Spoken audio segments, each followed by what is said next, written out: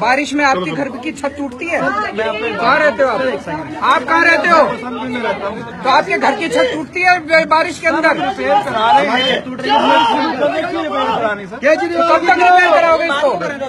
बारिश हो रही है हमने पूरी छत मटेरियल मंगा रखा है। एक एक तो पहले आपने छत बनाई क्यों ऐसे जो कि छत टूट जाए टूट जाए? पुराना मतलब पाँच साल पुराना है ना? आठ साल पुराना तो आठ साल में छतें चू जाती हैं। आपका घर कितना पुराना है बसंत कुंज में? आपका घर कितना पुराना है? बीस साल पुराना। बीस साल पुराना आपका घर चूता है? सर तो ये घर क्यों चूता है? Sir we are maintaining you are not maintaining sir we are maintaining sir ये इस तरह से मेंटेन करते हैं? पूरी एमईपी की टीम है यहाँ पे। कहाँ है टीम आपकी सर सारी टीम बुलाओ सारी टीम को। बुला लो जी। बुलाओ सारी टीम को।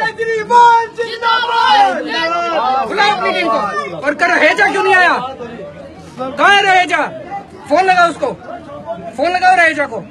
ये तो आराम से सोचते सर जी तो अमीर आदमी हम गरीब आदमी क्या करे? हाँ, इन लोगों को लगता है इनके बाप का माल है। सीधे हमारे घर के देखो सर घर से फ़ोन लगाओ अपने रहेजा को। सर मैं करता हूँ। फ़ोन लगाओ रहेजा को।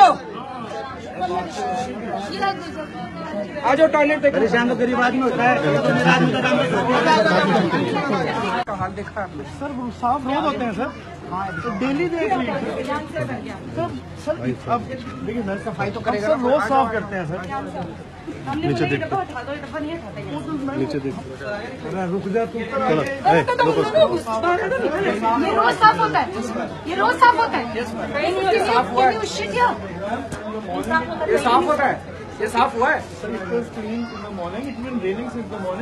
इसको एक महीने हो गए अब मैं आपके सामने बोल तो सकता नहीं। बोलने लायक हो ही नहीं। नहीं सर क्या करूँ? ये सफ़ाई है। मिनिस्टर आप जो कहेंगे मैं सुनूँगा। ये ये आप बुलाइए How can you talk like this? No ma'am मुझे about the मैम मैम जब मैं ma'am one second I am also a voter and a great admirer of sir.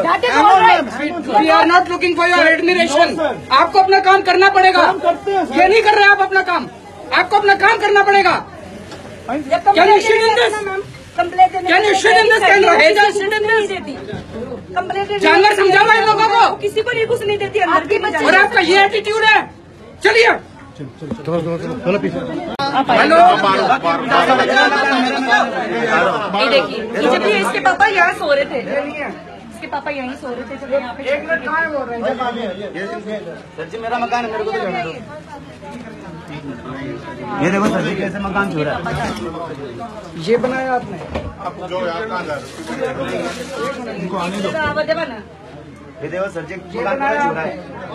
Sir मैंने अभी तो टेक ओवर किया है। मेरे को ये नहीं पता आपने टेक ओवर ये बनाया आप लोगों ने। सर देखो सर अब पूरी रात परेशान होते हैं सर जी पूरी रात छू रहे हैं मकान। शर्म आनी चाहिए आप लोगों को। ये तो सोते आराम से बिस्तर बिछा के अपने मकान में इनको क्या तुम्हारे घर में घुस जाएँगे ये सारे। तुम्हारे बसंत कुंज रहेजा कहाँ रहता है दिल्ली में?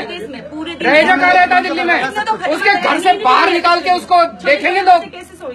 अब बताओ कोकरे ये जानवर है यहाँ पे ऐसे रहते हैं। मोटे मोटे तो चूहे इधर।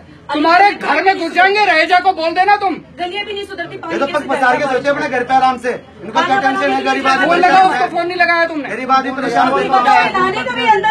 भाई देख तो ले यार मकान तो देख क्या करेंगे बाथरूम हेलो? क्या करें? इसमें ये वॉल्यूम मर जाएगी तो में आप जा भी नहीं सकते कोई आपको दिखाएँगे। रहेजा साहब ये क्या कर रखा है? ये जानवर है यहाँ पे लोग।